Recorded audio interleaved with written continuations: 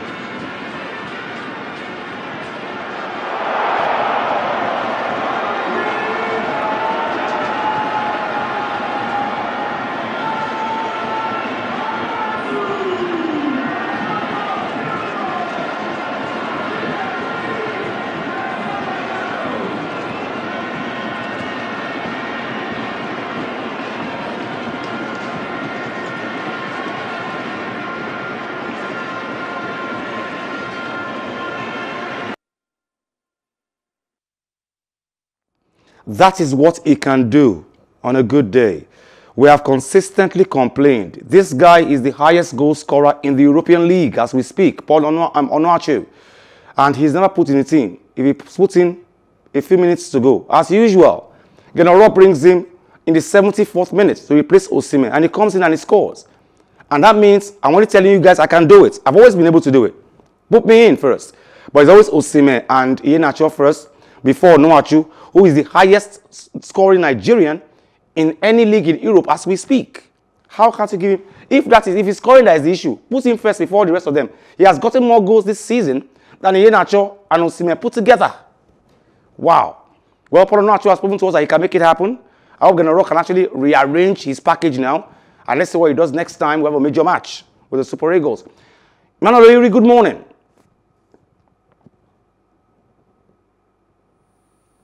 Good morning, Emmanuel Ohiri. Morning, Wale. Ohiri is a member of the Manchester City Football Club fan club in Lagos, Nigeria. But let me start with um, Super Eagles with you first before we go to your darling club. What do you think about our Eagles? How well are you, think we have come so far? After all these years, have we get, gotten better? Gotten better? Okay, I've got Dele Oshodi Glover here with me, all the way from London at this point. I've got, well, welcome. Dele, good morning. Dele, can you hear me? Dele, can you hear me? No, I can't. Good morning. Okay, good morning, Dele. Good morning, Dele. Yes, good morning, Wale. How is London this How morning? London this morning? Uh, very well, thank you. Weather is okay. Okay. The Super Eagles, last, last, last, yesterday you watched the match, you were getting in touch with me, trying to get out to get the match, now you've gotten the match together. How well would you say the guys have improved so far? Uh, first things first, congratulations to the Super Eagles of Nigeria. The first time in 20 years we saw a return of the Eagles to Lagos. Um, it was a big deal because they had to record a victory, and getting 3 0 on the day was relatively pleasant and good for Nigerians as it were. Um, it's the first time in a very long time that I saw Nigerians score three goals in a match, and three exciting goals. Uh, I think it was well deserved. I saw a bit of style, a bit of strategy in the team.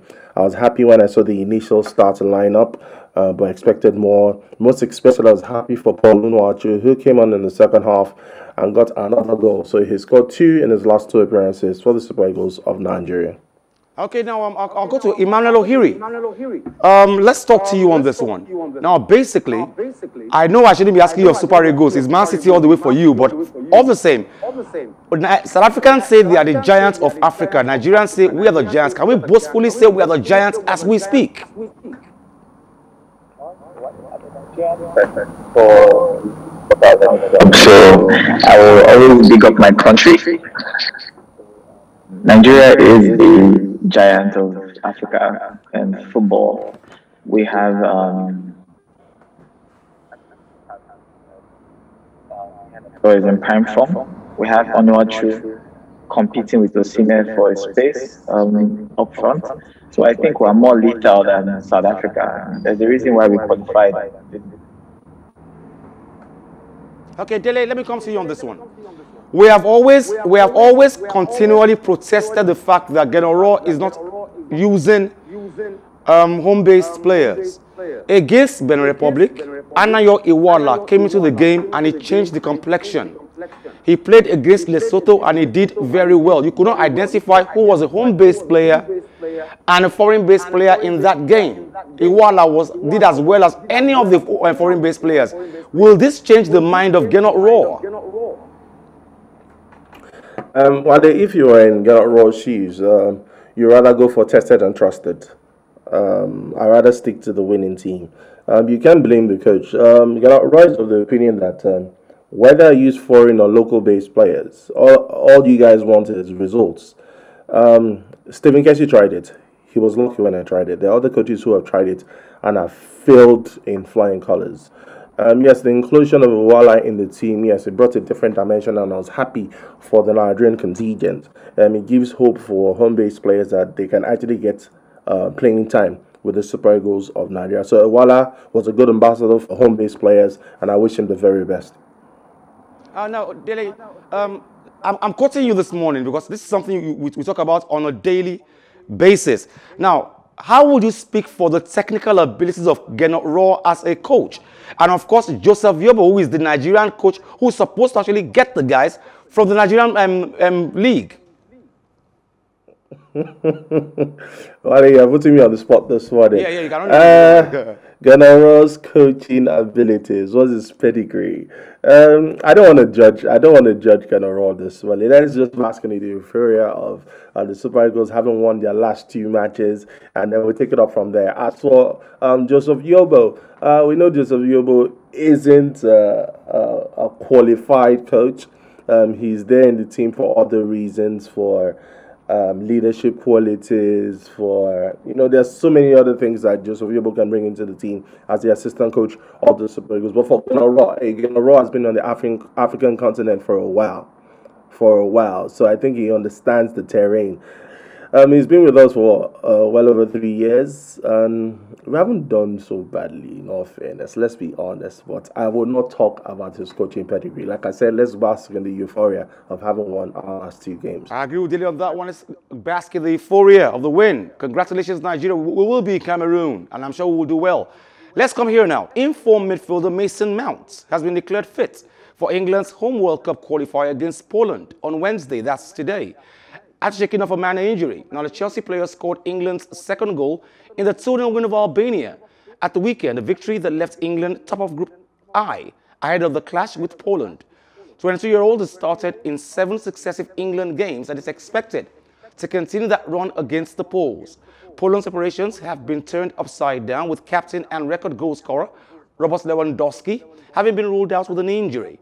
They have also been disrupted by positive COVID-19 tests, although one of the two players named on Tuesday, Grzegorz Kiewicz, has traveled after a second test was negative. Southgate also said he would be pleased if new UEFA rules and British regulations allowed for more fans to fill stadiums in England ahead of the Euros. No, he, he, he didn't warm up with the rest of the team, but he, he did the rest of the session after, so um, he should be fine. From our perspective, that's you know you're going to have some players who are very hungry to fill that opportunity. Um, you know they've got some very good forwards, Milik, Zielinski, um, Piatek. Uh, they're a good side with some good players, and uh, I've played Polish teams before. They they fight for the cause. They're a proud country. They're a good football team. They've got a new coach, so they've got high motivation. We all know this is a key game in the qualification group. Um, we've got to keep improving. We've shown a good level in our first two matches this week, and we've got to keep stepping up. And I believe the players can do that. Uh, well, I guess in the end, that's going to be a government decision, isn't it? Um, we'd obviously love to have fans in, and I think if it's possible, then um, we're certainly geared up to to be able to hold supporters in the stadium. Um, but we, we also understand that that's got to be done at the right times and um, it can only be in line with all the other restrictions being lifted. Dele, um, Gareth Southgate believes that um, Poland are only playing mind games.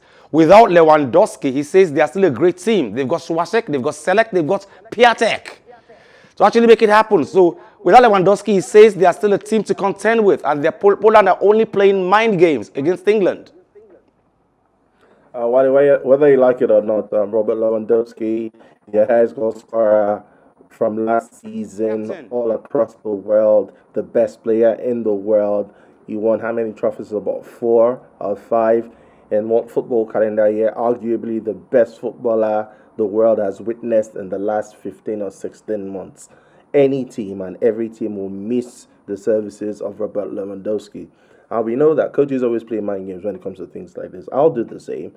Um, Robert Lewandowski is obviously right now in the class of the likes of Lionel Messi and Cristiano Ronaldo. Um, so if he doesn't get to play for Poland, he's going to be a big miss for the team. We all know that. But like he also said, they have certain other players. They have Black Blachowicz, they have Milik, they have loads of players who play for Poland. So uh, it goes beyond Robert Lewandowski. Football is a team sport. 11 players on the field of play for a particular team. Um, Lewandowski can do everything. He can okay, play post, Emmanuel. He can play defense. I'm still coming to you, Emmanuel, on, um, on, on Man City. But however, Emmanuel, Gareth Southgate says he wishes that they could actually make it happen. The government could make sure that more spectators come watch these matches. That he would love it to have the, the, the natural, noisy crowd and not the speakers making noise for him, really. It's important that um,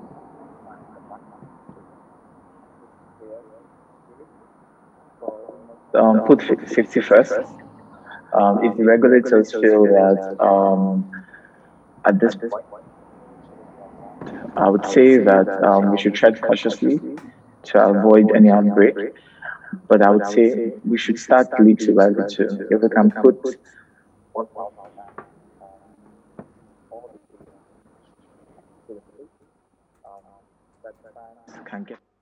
Okay, now, um, Dele, let's come to you on this one. Um, you are in London, and you know how seriously the government is taking COVID-19 and these variants at this point. Uh, you know that. And um, do you think, I have a, a, package here before the program ends, about how elated London residents are happy about the tennis courts being open and actually can play tennis. And I have a report of that later on the show. But um, do you think the government would accept um, Southgate's suggestion that the crowd should come back to the stadiums? first things first, the uh, UK government do not play with COVID 19 protocols. Um, the last time I checked, I'm still in quarantine, so it's very, very, very, very serious. They don't, uh, uh, they don't joke. They don't joke. You're not allowed to gather unnecessarily. Um, everywhere is practically shut. It's very, very serious business down here. I only wish we could apply the same back in Nigeria. Um, talking about the football game, um, it is what it is. A whole lot of people have died from COVID 19 across the globe. And uh, the British government, like every other government, are tired of losing its citizens.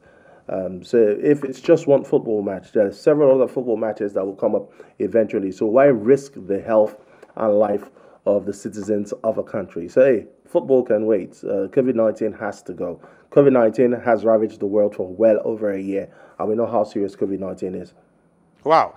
Now, Man City's all-time top scorer Sergio Kun Aguero will leave when his contract expires at the end of the season. The Premier League club announced on Monday, March 29th.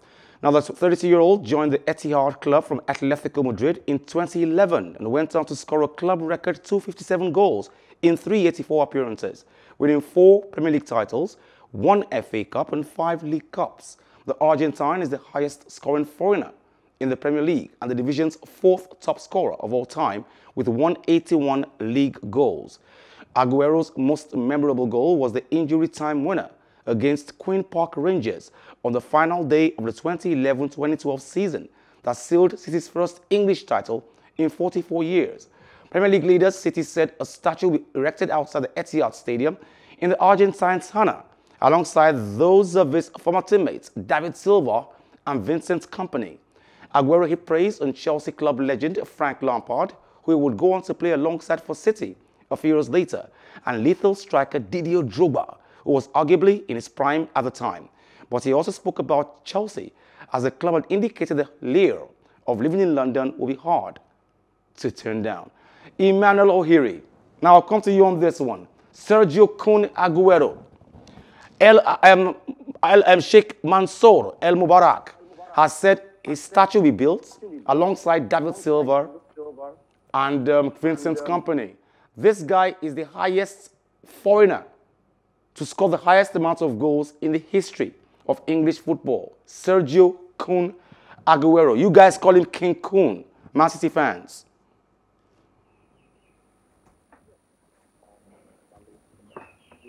One of the best products we've had in Um, arriving um, at the club, he had already scored over 100 plus goals. Um, for Atletico, he had won a UEFA Super League and then Europa League. Um, we got him for about 35 million, and I'm sure we never thought he would go on to be this colossal for the club. Um, he's been an amazing acquisition for the last 10 years. Has given us goals.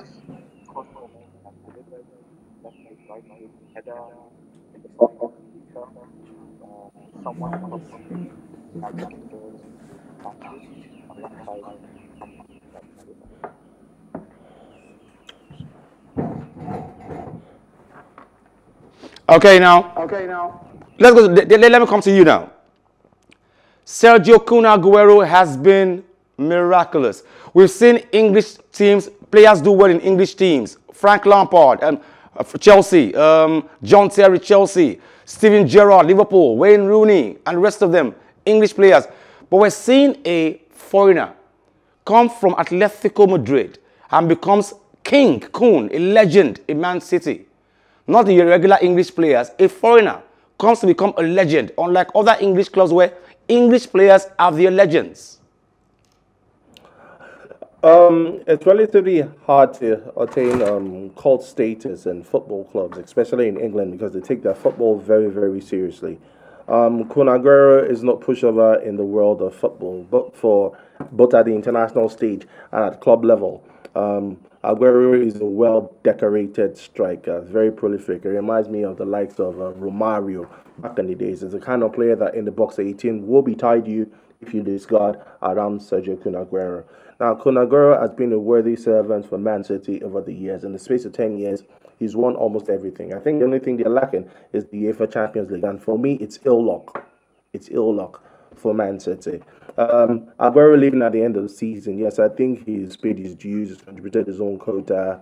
Uh, we can only wish him the very best. Uh, Kun Aguero is what is in, is the sixth highest goal scorer ever in the English Premier League, or thereabouts. Is is of course the Premier League is going to miss him, and Man City is going to miss him. And it's sad to say, um, you can't talk about Man City's um, history the way you talk about the likes of Manchester United and Liverpool. That's why you can liken English players, like obvious English players, to those teams, or like Man City. Man City blossomed like a flower when money came in, and we all know that. And when money came in, they weren't buying English players, they were buying the best of the best. And that's what happened. Ironically, the likes of Vincent Kompany, David Silva, and Sergio Kun Aguero were part of that influx of players who came into England and made Man City what they are today. Now, Dele, no, no, no dissing now. No disrespect at this point. At a point, Man City were always known as the noisy neighbors. When did the change come? The, the days of Aguero Kompany? There was a drastic change. They were only known as noisy neighbors at a point. And then, bam, they became world champions and started winning everybody and started topping the league. Um, I think this is general knowledge in Manchester. There are two major clubs. There are other clubs though, but there are two major clubs Manchester City and Manchester United. Now, Manchester United was winning trophies season in, season out. It was it was a norm for Manchester United at a point in time. And Man City wasn't winning anything. But you know, it's bragging rights. I belong to the blue half, you belong to the red half. And the red half asked the blue half, What have you won? What do you have to show for it? So basically, it was bragging rights. That's why they regarded them as the noisy neighbors. But hey, uh, mind you, can't say they're the noisy neighbors now because Man. City have, uh, I think, they've delivered nah. over time. Once they get the UEFA Champions League, they'll sit with the best of the best. Dele, I only have a smile on my face, but I'm not, I'm not, I'm not making fun of you. Just my smile, my morning, my Wednesday morning smile. But um, I, I know you don't have the luxury of this right now because of your 14 days quarantine. I'm not making fun of you, really, but let me read you the story first so you, so you know. London residents were thrilled to be allowed to play tennis again as another sport and leisure facilities were reopened as part of the British government's gradual easing of its lockdown restrictions. One keen tennis player in North London said he and his family had booked sessions on a local court throughout the first week. From Monday, up to six people or two households in England can meet outside whilst outdoor sporting facilities, such as swimming park, tennis, and basketball courts can be used, with strict contact limits in places. Now, despite the move, Prime Minister Boris Johnson urged continued caution due to rising coronavirus cases in Europe.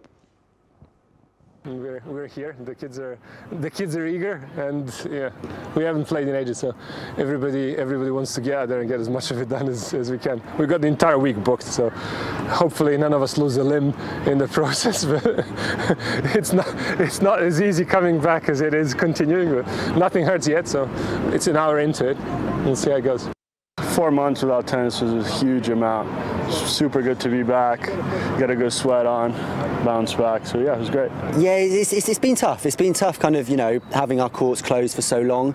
Um, having them closed for sort of the first three months of the year is very tough. Um, we would we would normal ordinarily be be quite busy, even though it's it's in the winter. We operate a lot of indoor tennis centres and a lot of indoor facilities. So then actually the winter is a very busy time for us. So it, it, it's been it's been tough having them closed those first three months, but you know, we saw such a big um, uplift of, of, tennis participation last year when the kind of courts were open again and, and people could play last summer.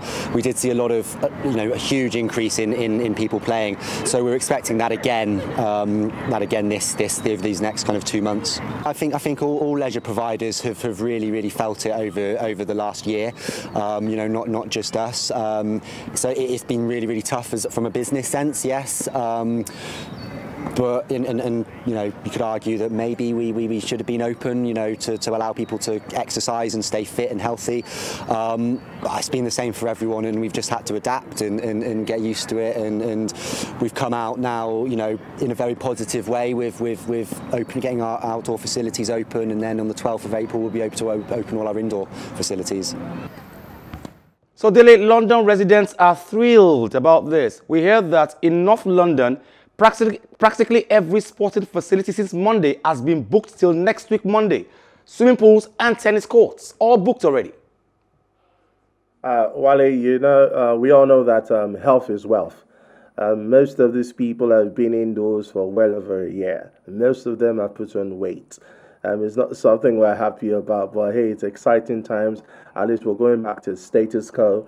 Uh, we know that we'll get to do the things we used to do. Um, basically, people just run, go jogging in the evenings or early in the mornings around here, but it's not it's not the same way it was when they were playing tennis, swimming, you know, playing football. The parks are empty. You know, it's just a whole lot, and it's just, it's not just about London or the United Kingdom. It's all over, especially the countries who take COVID nineteen protocols very, very seriously. So it's it's good times that um, um, is being eased down gradually. The lockdown is being eased down gradually, and sooner rather than later, um, everything will go back to normal, and we'll have our normal lives.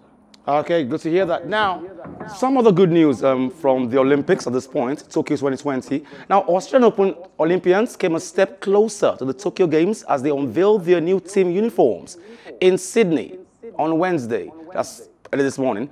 The green and gold uniforms designed for what could be Australia's largest ever Olympic team incorporates Japanese original designs and includes a shirt by indigenous artist and Olympian boxer Paul Fleming that features the footsteps of 52 indigenous athletes who represented Australia at previous games. Chef de Mission Ian Chesterman was confident organizers would put in place health protocols to protect the competitors in Tokyo, but felt it was important the athletes did not face too much on that aspect of what will be a very different Olympics. You know, this is my culture, this is who I am, um, and then being able to represent, you know, uh, my, my culture, my family, um, what we've come through, um, and then following the footsteps of, of the other 52 athletes have already done it. Backstage in the green room, if you like, it'd be nice comparing notes and just having a chat and catching up on how everyone's going. After a year of uncertainty, we can now see the start line on July 23, and it's going to be a big moment for our athletes to be there in the green and gold in this magnificent uniform that's been produced by ASICS for us. Yeah, I think absolutely the uh, the uniforms and what we wear. The team with ASICS have kind of known that for a long time as well. As we've heard, the uh, climate in Tokyo is expected to be uh, difficult, and we know that ASICS totally understand those conditions and have built an appropriate uniform for us. Uh, it's absolutely world class. Then before we go, that was Australia unveiling their uh, Tokyo Olympics uh, team jerseys. Now, in a few weeks from now, we'll be seeing many other countries unveiling their jerseys for the Olympics. Of course, qualified countries already. It's it's always a thing of joy and a, and a sense of belonging for people when they say that um, I'm an Olympian. I've been to the Olympics. That's the biggest stage. That's the biggest stage you can attain as an athlete.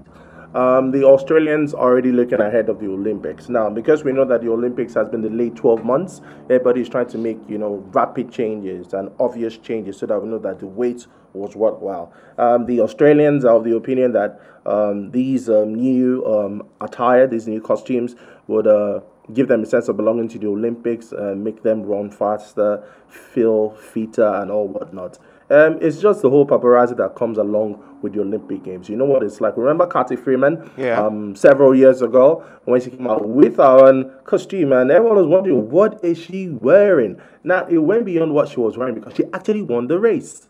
If she had lost that race, we would have forgotten about it. But she True won that. the race with what she had on, and that's the beauty of the Olympic Games. And this is part of the paparazzi that comes along with the Olympics. Okay, Dele Oshodi Glover, I want to thank you very much for taking off your, your time to actually join us on the show this morning, all the way from London. Thank you very much. Thank you very much. You're welcome. Thank you. Well, on the show today, I had Ohiri, Emmanuel Ohiri, a Manchester City- City fan. His um, audio was not very. I promise to, bring him back next time very soon to talk about Man City Uh, from the Etihad Stadium, of course. Thank you very much. Dele Oshodi Glover from London, of course. He took time to actually join us on the show this morning. Thank you very much. Join us same time tomorrow for another edition of the show. On a Wednesday morning, you call it Plus Sports on Plus TV Africa. I call it your midweek thriller. My name is Wally Scott. Till tomorrow morning, like I advise you at the end of every show, if not for anything, at least for your heart, do some sport.